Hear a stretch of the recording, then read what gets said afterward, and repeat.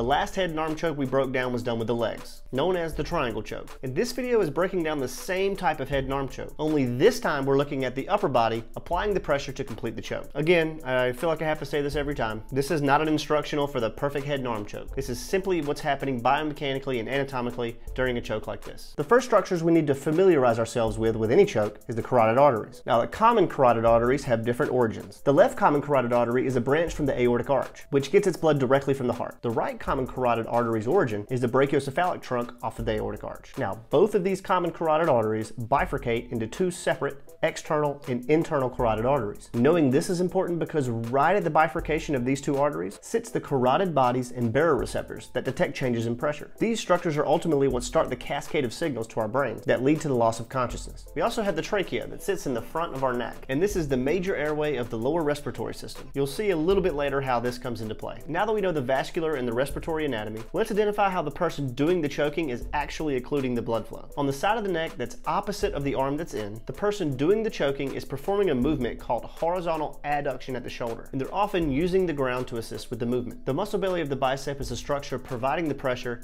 to the cervical spine. Now, as the arm moves further into horizontal adduction on the other side of the neck, the person doing the choking is performing a movement called cervical side bending, performed by muscles like the sternocleidomastoid or the scalenes in order to keep the pressure of the shoulder on the neck. For the person being choked, this is bringing the big muscle belly of the anterior delt into the cervical spine in an attempt to occlude the other carotid artery. Now, sometimes you'll see people using cervical side bending coupled with extension or flexion, but the main movement providing the pressure here is cervical side bending. And if this hasn't quite achieved the tightness required to achieve the tap, the person doing the choking seems to use this movement quite a bit. Along with getting their hips higher and letting gravity assist them in getting pressure on the front of the neck, you'll often see them perform a movement at the shoulder called protraction, performed predominantly by a muscle called the serratus anterior. Now this is technically a combination of a couple scapular movements, but essentially it involves bringing the shoulder blade forward, placing even more pressure on the front of the cervical spine, intending to disallow airflow through the trachea. So to recap, one carotid artery is being occluded by the muscle belly of the opponent's bicep while moving their shoulder into horizontal adduction.